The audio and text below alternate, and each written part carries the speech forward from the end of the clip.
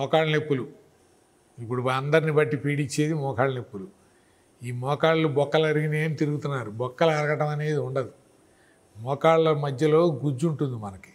మనం ఆహారపు అలవాట్ల వల్ల వాతావరణంలో మార్పులు మనం తినే తిళ్ళలో ఉన్న కలుషితం వల్ల ఆ గుజ్జు పక్కకి వెళ్ళిపోవటం. శరీరంలో వాత పిత్త కపాల ద్వారా ఏ రోగం వచ్చినా.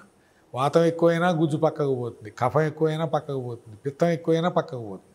ఈ సమశీతోష్ణం చేసే మందులు మనం వాడగలిగితే మళ్ళీ ఎక్కడ గుజ్జు అక్కడ సమానంగా వస్తే ఆ నొప్పులు ఉండవు.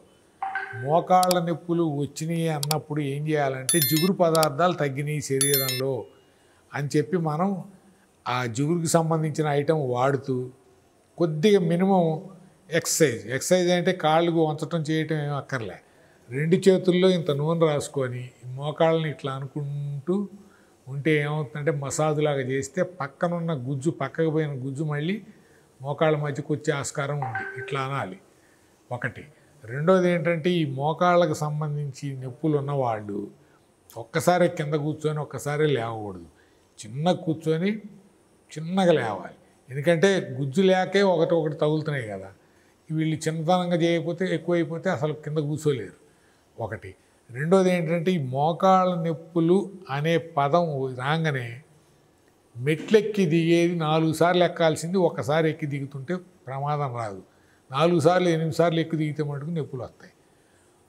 ఇక దీనికి తగ్గించుకునే మార్గాలు ఏంటంటే పల్లీలు కొబ్బరి నువ్వులు మినువులు మెంతులు ఈ ఈ ఐదు ఐటమ్స్ తీసుకొని పౌడర్ చేసి ఉదయం ఒక స్పూను మధ్యాహ్నం ఒక స్పూను సాయంత్రం ఒక స్పూను నీళ్ళలో కలుపుకొని తాగితే అన్ని పచ్చివే వేయించద్దు ఏమీ. ఇవి వాడటం వల్ల గుజ్జు ఫామ్ అయ్యి ఈ పక్కకు పోయిన గుజ్జుని మళ్ళీ యథాస్థానానికి తీసుకొచ్చే శక్తి వీటికి ఉంది. పల్లీలు కొబ్బరి నువ్వులు మినువులు మెంతులు ఇవన్నీ కూడా జిగురు పదార్థాలు. ఇవి చేస్తూ అక్రూడు అంజీరు అవి కూడా వాడితే అవి కూడా గుజ్జును ఫామ్ చేసే గుణం ఉంది కాబట్టి అవి డ్రై ఫ్రూట్స్ రాత్రిపూట పడుకునేటప్పుడు తినుకుంటూ ఈ పొడి మధ్యాహ్నం పూట సాయంత్రం పూట వేసుకుంటూ బెండకాయలు ఒక ఆరు బెండకాయలు ఈ చివర ఆ చివర కట్ చేసి గ్లాసులో పెట్టి నీళ్ళు పోస్తే అందులో ఉన్న జిగురంతా నీళ్ళలోకి వస్తుంది. ఆ జిగురు మనం టిఫిన్ చేశాక భోజనం తర్వాత ఒక నలభై రోజులు తాగగలుగుతూ ఈ చెప్పినవి చేస్తే సిక్స్టీ సెవెంటీ పర్సెంట్ మోకాళ్ళ నొప్పులు వీటికే పోతాయి. ఎంత సివియర్గా బాధపడుతున్న వాళ్ళైనా ఇది చేస్తే కదా తెలిసేది. చేయకపోతే ఎట్ట తెలుస్తుంది? ఇది చేయాలి. ఇది చేసినా కూడా తగ్గలేదు అని అంటే వాళ్ళు మాలాంటి ఆయుర్వేదం తెలిసిన వాళ్ళ దగ్గరకు వచ్చి సంప్రదిస్తే మేము మాకు తెలిసిన ఆ ఆయుర్వేదం మందులు అడవికి వెళ్ళి కలెక్ట్ చేసి ఆ గింజల్ని అవన్నీ తెచ్చి పౌడర్లు చేసి అవి నలగవు కొన్ని గింజలు. చాలా కష్టపడితే కానీ ఆ పొడి అవ్వదు. అది పౌడర్ చేసి ఇస్తే అది వాడటం వల్ల పక్కకు పోయిన గుజ్జు మళ్ళీ యథాస్థానానికి వచ్చి నొప్పులు తగ్గే ఆస్కారం ఉంది. తగ్గిన వాళ్ళు ఉన్నారు. వాడుతున్న వాళ్ళు కూడా ఎక్కువ మంది ఉన్నారు. ఎక్కువ మందిలో రిజల్ట్ కూడా బాగుంది. దీనికి పర్మనెంట్ సొల్యూషన్ ఏంటంటే ఉన్నంతకాలం ఈ పదార్థాలు తీసుకోవటమే. పల్లీలు కొబ్బరి నువ్వులు మినువులు మెంతులు.